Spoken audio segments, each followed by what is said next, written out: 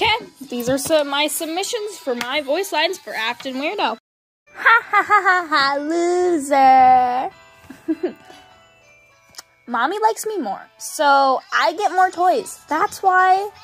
Shopping? Yay! Ice cream. Ha ha ha ha ha. You don't get none. Wait, where's Dad? What? Ew, no, I don't want her to come. Please?